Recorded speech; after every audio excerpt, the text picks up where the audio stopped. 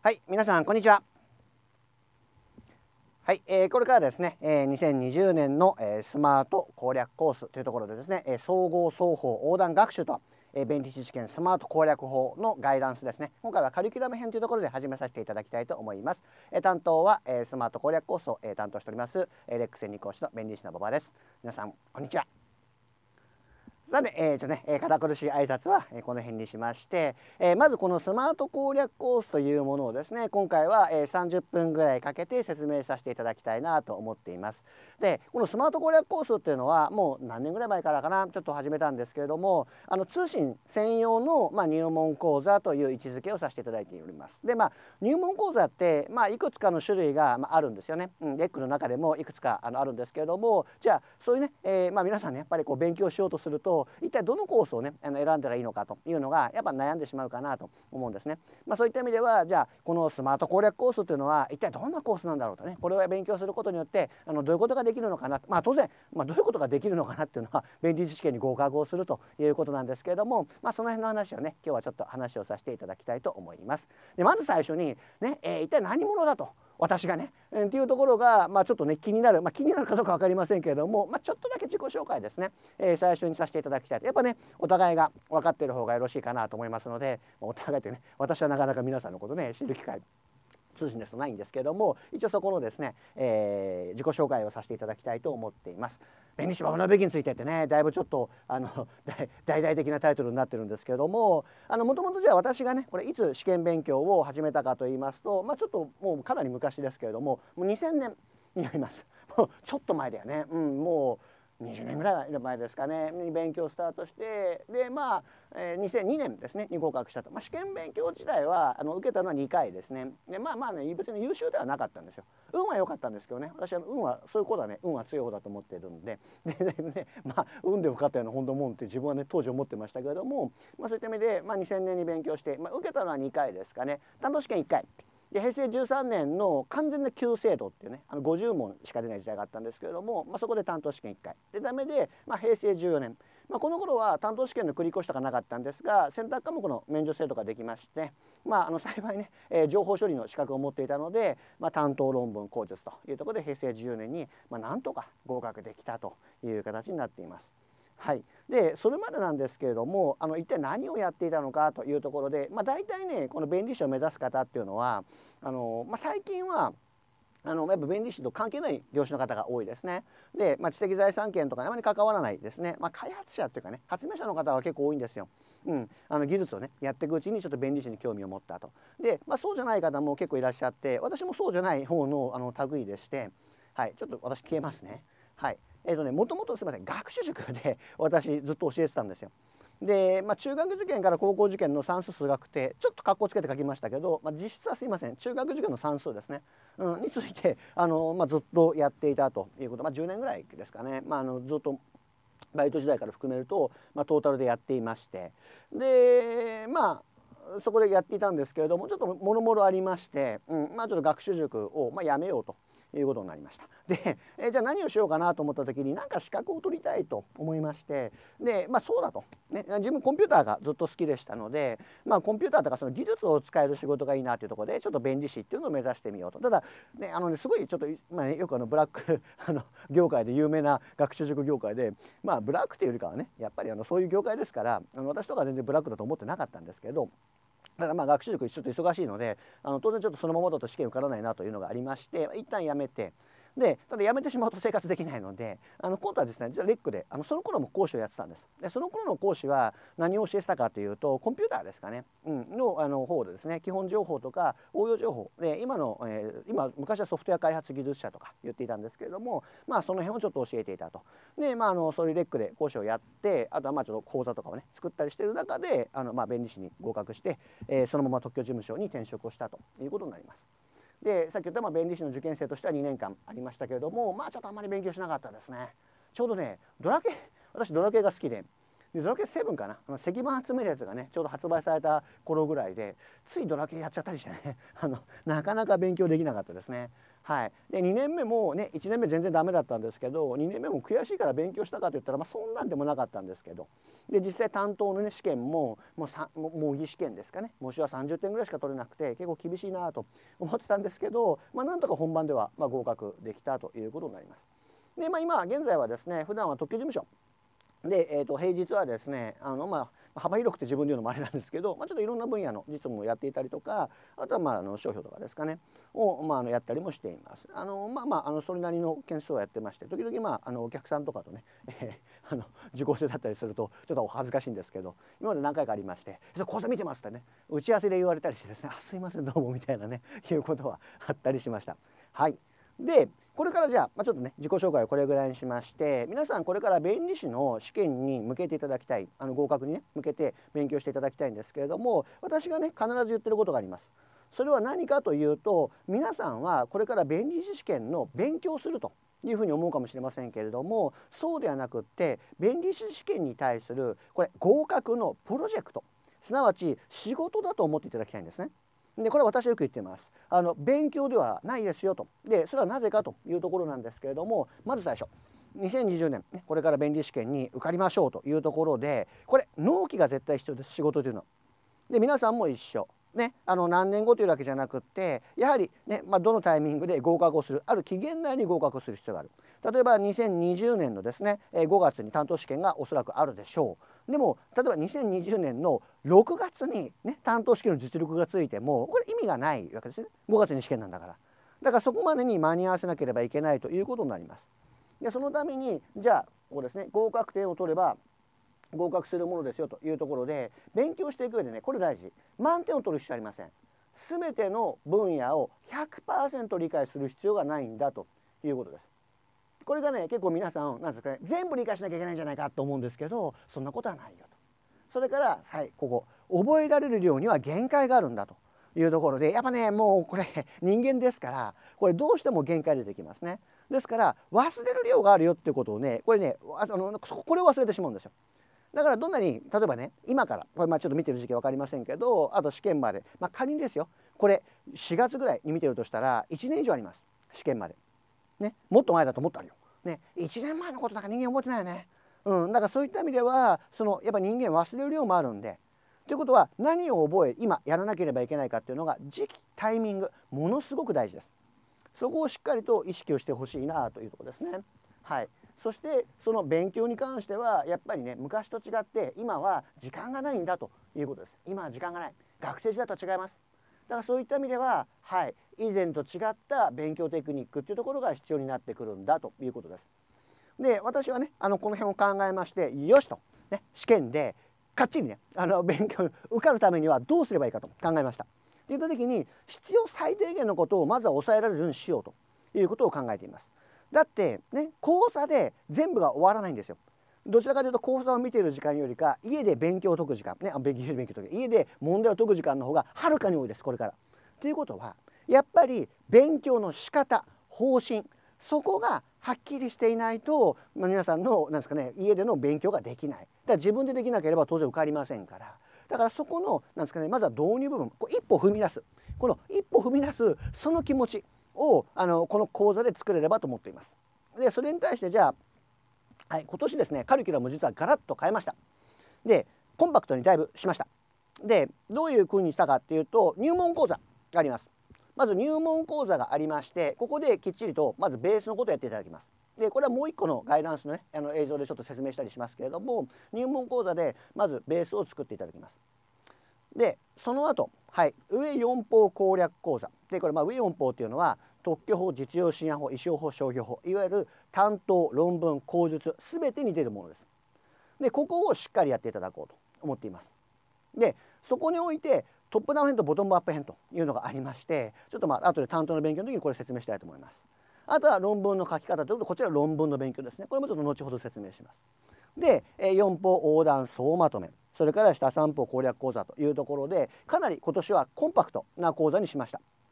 そうすると皆さんねなんえそんなの大丈夫なの？受かるのかな？ね思うかもしれませんけれどもこれは大丈夫です大丈夫ですうん、さっき言ったように あの残念ながらねこの講座の時間だけでは受からないんですよ。それはどの講座でも一緒。だって予習復習とかあるからね。うん、だからそこの予習復習とか自分で過去問集問題集を解くとかその時にどうやってできるようになるかというところが非常に重要です。で私考えました。じゃあどうやったら講座をコンパクトにするかと。ね、家庭学習をするためにはどうやったら講座をコンパクトにできるかっていうところを考えました。その時に今年のスマートスマート攻略コースなぜ講義時間が少ないのかなということで考えた時にまず従来ですね、まあ、去年までやっていたこう学習時間全体があるとしますよね。でいっぱいあるわけですよ 通常。ね、でねこれね結構難しいのは最初ねやっぱね一番モチベーションが高い時期っていつかっていうと講座を申し込むタイミングなんです。まさに今今は皆さんテンションマックスねもう絶対受かるぞとね来年受かるに決まってるよと1年で受かるぞとね思ってるわけよ。ね、1日10時間やったるぞにかってさ思ってるわけよ。でも実際はさ仕事があったりするわけですよ。なかなか勉強続かないです。年末忙しいですよ。ね。はあ、飲み会だったりってくる忘年会とか結構厳しいです。ね、生活もあります、ね、家庭がある方もいるでしょう、ね、お父さん頑張って便利集帰るよと。最初の頃は頑張ってって言ったのにね。何あなた最近毎週土日ね全然家でね何何もしてくれないわねなんて言われちゃってさ。こっちはね試験勉強あるのにってさ 思うわけですね。うん、だ言った時にじゃあどうしようかと。考えたらはい。まず試験に出るところを重点的にやってもらおうと思います。いいですか？でこれは私の考え方で要するに毎年出る分野と、ね、10年に1回しか出ない分野があるわけよ。それを同じペースで勉強していたらやっぱり時間もったいないです。もったいない。だから確かに10年に1回は出るんですよ。10年に1回は出る。でもそこの理解よりかは毎年出てる方を確実にやった方がいいじゃないですか。ということは何が重要かと言ったらこれは10年に1回ぐらいしか出ませんよすなわちあんまり出ないですよっていう情報が必要になってきます。なのでそこをまずカットしました。ね、これはいいだろうと。まあ、カットというよりかは、まあ、後回しという感じですかね。まあここはあんまり出ないからというところでまずは重要なところやってくれと言ったらだいぶコンパクトになりますよねもうここやんなくていいわけですから。ね、だからまあ10年に1回という分野もあれば20年に1回という分野もあるんですよ。うん、つか今まで試験で出たことないとこもあるわけ。そこは別に気にすることはないですね。うん、どうせ出ても他の人もできない。うん、ということになります。はい。それからね、だからまずこれはカットねカットします。あんま出ないというところ。それからはいこれです。弁理士の勉強ってさっきちょろっと言いましたけれども担当論文口述に分かれてます。そうするとヒュイッと。ね あのね重なる部分が出てくるわけ。担当も論文も口述も同じように出る部署が出てきます。とかあとは、まあ、さっき言った特許法実用新案法衣装法商標法って4つの法律がメインです。この法律もこれね兄弟みたいなもんなんです。例えて言うのは特許法がねまだメインだとしたらこれね実用新案法はね双子なんですよ。双子の弟。でね衣装法はねそうね2歳ぐらい離れた弟ね。うん。で商標はちょっと違って5歳ぐらい離れた妹なんですよ。結構も違ってくる。これ違うんですよ。商標は違うの。でもやっぱり重なる部分があります。だから重なる部分は別々にやるんじゃなくってまとめて理解した方が効率もいいですし覚える量も少なくなるじゃないですか。これね同じ特許法の中でも例えば審判制度なんかもそうなんです審判なんですよこれね裁判に似た制度なんですけどこれもね審判で4つあります特許法で。でも共通してる内容があります。それをまとめて覚えちゃえばね楽じゃないですか。とか実はね全然関係ない条文全然関係ない規定に見えて実はね共通の部分があったりするわけです根っこの部分が。だからそこをまとめちゃえば覚える量が少なくなる。だから覚える量も少なくなるし、はい、勉強する量も少なくなる。だからこれもカラットってなったらもうここだけやればいいと。従来に比べるとね。ここだけやればいいと。さらにさらにまだあるよ。まだあるよ。はい。家庭学習。だから当然さっき言ったように講座の中ではどっちにしても全部できません。これ300時間やっても400時間やっても講座だけ見れば受かるというのはかなり難しいですね。自分で問題解かなきゃいけない。ということはここについては後で見ておきましょう、ね、ここは多分説明しなきゃ分かんないよね。そういう分野があります。説明しなきゃ分かんない分野は2つ。1つは難しい話。これは本読んでも理解できないよというとこ。もう1個。間違いやすい話。みんな間違えるよって。でねここがすごく大事ね。みんなが間違えるかどうか。うん、でみんなが間違えるかどうかの情報っていうのはやっぱり私とかはすごくいろんな質問やっぱ受けるから。そしたらここは毎年質問に来るなっていうのがね分かるわけ。でそうするとあここは説明していこうと。あここはね言っても多分みんな質問に来ないなとかっていうとこあるわけですね。ってなったらそのここについてはもう家でやっておけばいいよねっていうところは講座からは削れるわけですかと。ってなるとほら最初に比べたらどう？かなりコンパクトな量で実は試験に受かる知識というのは入るわけです。で学習量を減らしていくというところで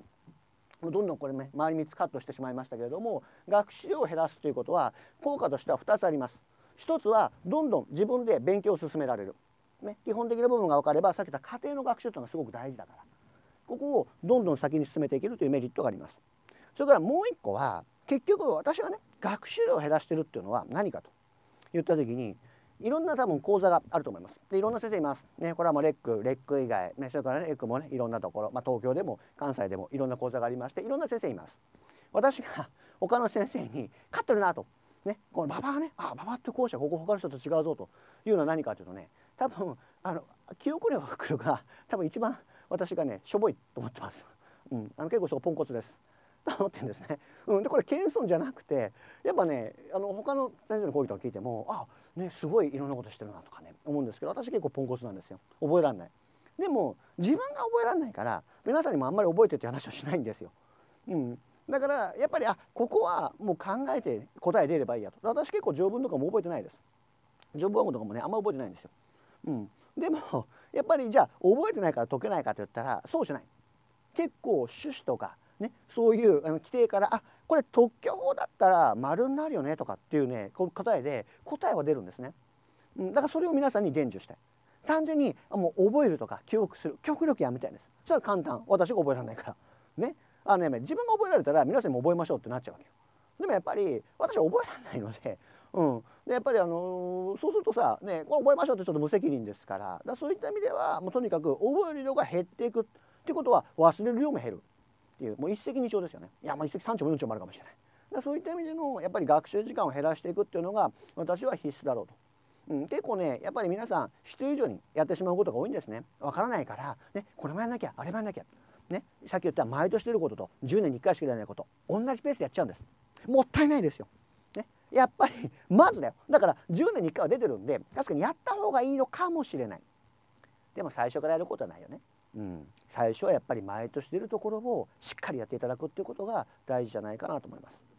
はい、でそういったところをコンセプトとして今年のスマートコースは作り直しました。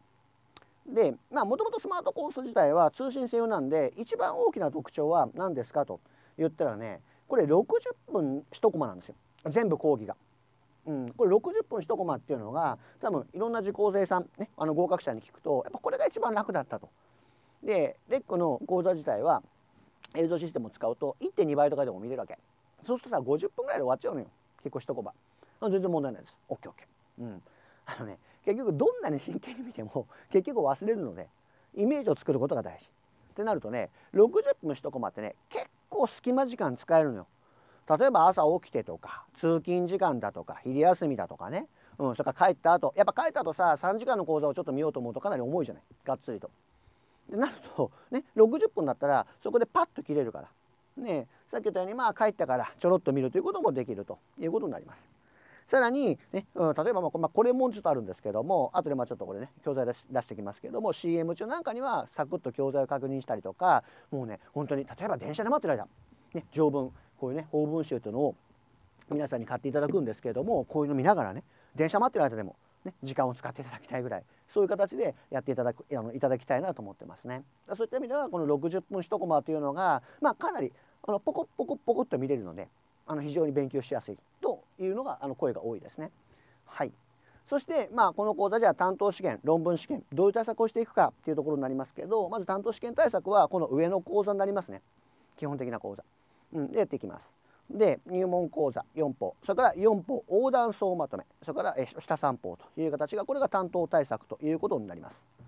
でまずこのト何？このトップダウンとボトムアップっていうのは一体何なんだっていうところなんですけどトップダウンでやりたいのは制度ですね全体の制度から各規定を理解していくっていうことになります。うん、まあ例えばこういう会話帳から始まってるページもありますね。でこれ何をやってるかっていうと具体的な事例です。皆さんがまさに弁理士になった気持ちでどうやって事案を解決していくかっていうのを考えていただきたい。とかあとはこういう細かい知識をですね一個一個の条文を追うんじゃなくってまずは流れ。流れを頭の中に固めていただく。そうすると地図と一緒よ、ね、あの一個一個のこの場所を理解するんじゃなくてまず全体。東京から大阪までどう行きますか？新幹線で行きますよ。まずそこから理解しましょうよ。何番線のどこどこどこどこで乗って何号出口で出てとかそんな細かいことはいいです。まずはざっくりとしたイメージを作ってください。でこれをトップダウン編と言ってます。で全体のイメージができたと器ができたら次はボトムアップ編で知識を入れていきましょう。ね、でその時は担当アドバンスっていうテキストを、まあ、レックのも使うんですけれどももう一個はねここに今出てるのはこれコレモンっていうやつなんですね私が言ってる。でコレモンって何かと言ったら過去問担当の過去問を条文ごとにまとめてますこうやって。条文ごとに。条文ごとにまとめた問題集を配っています。でこれについてははい。過去問から条文の重要な要件を抽出する。まあこれまだねちょっとピンとこないかもしれませんけれども意図としては何かと言ったら必ずも条文と過去問をセットで考えていただきたい。でこれね実は入門講座からちょっとねえーと今年まあ、今年というのは、えっと、平成、まあ、平成じゃなくなっちゃうけどね平成30年の試験までを収録したものをお配りしてしまいますまずもう入門講座の時点から。で早い段階からもうできるところは過去問に触れていただきたい。いいですか？やっぱね敵をまず知らないとダメということになります。目的は2つです。1つは、まあ、ここに書いてあることですね。過去問から要するに過去問で聞かれてることをまずはしっかり理解していただきたいということになりますので過去問の範囲を完璧にしましょうという意図が一つです。もう一個二つ目。これが大事。ない問題。条文に対応する過去問がない問題。ない問題？ない条文。ない条文。無視していいです。これが大事。要するにやんない範囲をしっかりしていくところが大事ですね。勉強していく上で。あのね重要なことってみんな自由に見えるわけよ。勉強って。そうすると最初はできそうなんだけど 結果的にはあのインプットができなくなっちゃうね、うん、入ってこない頭の中に。だから入れるものをなんですかねこうどんどんどんどんねこうそぎ落としていくわけ。いいやと。皆さんねこう欲張っちゃうわけ。どうしても。そうじゃなくていい、うん、だからもう出てない問題もう出てない条文に関しては無視。それでも全然問題ないです。出てないんだもん。で逆にすごい出てるやつとかはしっかりやんなきゃダメ、うん、例えば衣装法の3条の2ってあるんですけどめちゃめちゃあるよ。うん、右だけで3ページか4ページあるかな。過去も同じ条文だけでブワーってあるの。それをもうそれめちゃめちゃ重要な条文。毎年出てくから、うん、そうかと思えば全く出てない条文もあるっていうことになります。なのでこれで担当に関しては上から下から要するに制度から条文からでがっちり知識を作ろう。プラスさっき言った4法総まとめは今度は特実意小。これをね横に見ていきます。こう似た制度があるから、はい、出願。特許では実案では衣装では商標ではどうなってるっていう見ると結局頭の中で私はねリンクをいっぱい作っていこうだと思ってます縦横の。でそれが 知識がねああだこうだああだこうだってできることによって全部がガチってつながるわけ。でつながったタイミングでおこれだというふうに記憶がね抜け落ちなくなるわけ。やっぱ手がかりは複数あった方がいいでしょ。だそういった意味でのこう縦のり横なり。これ、ね、入門講座からあまりこういうやり方はしないんですけど私はこのは効率がいいと思ってます、うん、なので今年はそういうやり方をしていきたいと思っています。これが担当です。それから論文。論文に関しては論文対策ということで、まあ、こんな形で分かれています。でねえっ、ー、と基本的にはスマートコースであのまず標準でサポートしたのはここです。当然これはねトップダウンは制度なので論文も取ります。それから入門も一緒です。入門でも論文のことを話します。プラスやっぱ論文って書き方がありますからというかね戦略があるのよ。論文ってさなんか難しそうじゃない？論文って書いてるぐらいだから。そうでしょ？でもね実は簡単、うん、だって試験だもん。点数つくのよ。だからいいことなんか書くことない。点数の取り方が重要。戦略です。私はそう思ってます。論文は戦略、うん、正しいこととかそういうことじゃない。点数の取れる答案書く人が受かるんです。その書き方を教えます。でここのタイミングでですね、はい、論文の学習法なんですけれどもこれね2つあります。大きく分けると。勉強の仕方としては。で論文っていうのはどういうことかっていうとよいしょ。論文の問題があるんですけどこのまず問題を読んだ時に何を書かなきゃいけないのかということが大事です。でこれを項目出して言ってます。何を書くんですか。でその項目その部品ですね。ユニット。これを問題に応じて抽出する作業があります。あこれ書こうね、A って部品書こう B って部品書こうで抽出をしたら今度はそれが書けなきゃダメだよね。で書けなきゃダメだよねっていうのはここですね書くべきユニットを答案に記載していく作業だからこの2つの作業が必要になってきます。って言った時にこれに対応しているのがこのまあちょっとオプションになるんですけど論文ユニット構築講座と論文スキルアップ講座です。で論文ユニット講座は論文コレモンっていうものがありましてこれ論文コレモンは何かといったら私が過去問をあの別にバラバラにしたんですよこれ。うん、過去問をねバラバラにしただから過去問長すぎるから。なんかこうそのまあ我々論点とよくんですけども論点ごとにバラバラにして、うん、例えばこう1個のね短い記載でじゃあこの定型文にしようという形で作ってます。でこれを論文コレモンって言っています私は。でこの論文コレモンってもうね標準の講座でお渡しします。論文書き方講座。だからここで自分でできる方は全然問題ないです。ただ不安だと。ね、レジュメだけあってもちょっとよくわかんないぞ。ってなればオプションで論文ユニット構築講座を取っていただければいい。だから必須じゃないです。もう教材を渡しちゃうから、うん、だってそうそうでしょ。だってこう私やっていただきたいもん。でもやっぱり自分でやってると不安だと。ちょっとどういうのかね。これ説明聞いた方が俺はいいぞって方はもしくは時間があるという方はこれを見ていただければいい。逆に今もう12月ぐらいねもう寒い冬でいやちょっと論文まで間に合わないぞという人はいいですよ。これやんなくて。担当だけまずやりましょう。担当だけまずやりましょう。ということになります、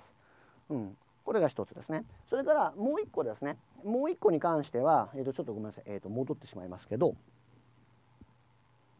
いしょ。こっち。論文スキルアップ講座の方ですけど、えー、とこれは何をやっていくかということでまあどちらかというとあ、まあ、これどちらかというとこれ逆だな、うん、論文スキルアップがこっちかな。今言った。あのごめんなさい。論文スキルアップが項目出しがこっちですかね。あのなんで抽出作業でこれ論文スキルアップが多分、まあ、こっちに来るかと思うんですけれどもごめんなさい。で論文ユニットがこっちだな。具体的な内容ですから。で論文スキルアップっていうのはこれ何の講座かといったらこれ過去問です。で古い過去問。平成14年から。20年か21年まで。要するにレックが今販売している過去問集があるんですけれどもその販売している年度の前まで載ってます。ってなるとレックの過去問集を買っていただければこの論文スキルアップで使ってる教材と論文レックの過去問合わせて平成14年から直前まで過去問が揃います。これをきっちりやってほしいってこと。これをきっちりやってほしい。でこれも時間があれば論文スキルアップ講座を受講してください。時間がないよ。もしくは余裕がないよって方はレックの過去問集だけでも十分です、まあ、7年分か8年分載ってますからそれしっかり回してもらえばいいただいやもうちょっとやらなきゃダメだっていう人は論文スキルアップ講座は平成14年からの過去問レジュメ載せてますのでそちらを使ってあの幅広くやっていただければよろしいんではないかなと。だか必ずしもユニットあのオプションの講座に関しては必須ではないです。あの当然合格レベルってことで考えればなくても十分合格レベルに到達できるものです。ただ、まあ、今言ったようにちょっと自分では足りないからもしくはちょっと時間的に余裕があるという方は是非やっていただきたいというふうになっています。はいであとはまあ、えーと、最後になりますけれどもスマートコース、えーと、私の方ではですね結構皆さんにあのコミュニケーションを取りたいと思ってます。なので、まあ、質問できるようにしていただきたいというところが、まあ、大事なんですね。でなぜかというとその結局勉強していく上で大事なことってね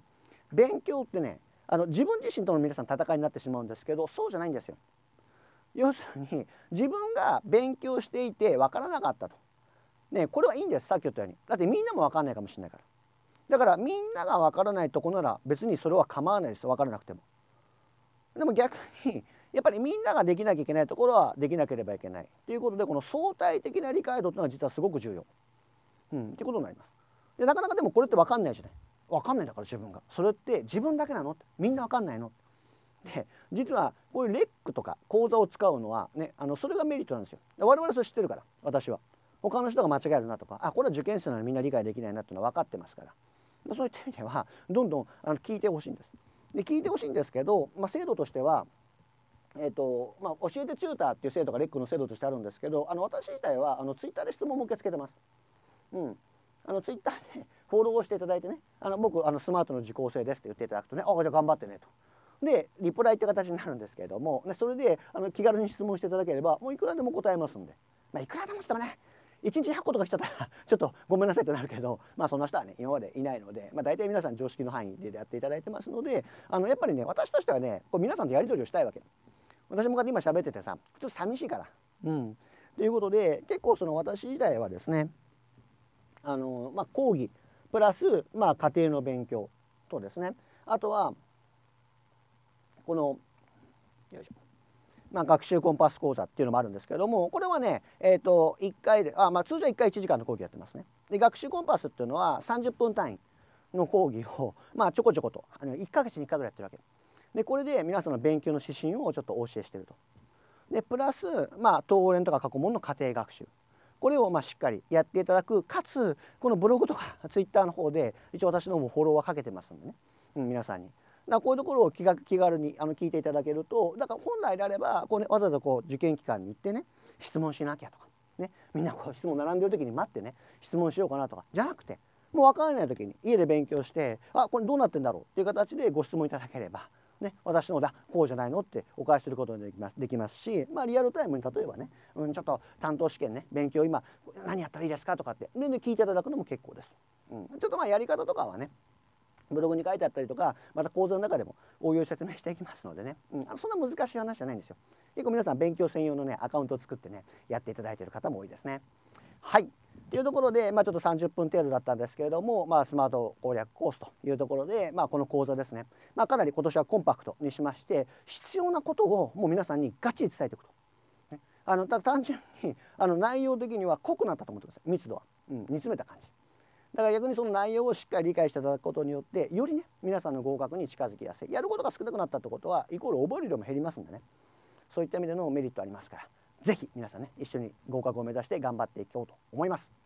はい、えー、というところで、えー、ちょっと30分程度でしたけれども、えー、今回、えー、コースのガイダンスというところで、えー、もしよろしければねあのもう一個のガイダンスもありますのでそちらは勉強法ですね具体的にこのコースを使ってどう勉強していくかというのを話しておりますのでそちらもご視聴いただければと思います。では、えー、本日お時間いただきましてどうもありがとうございました。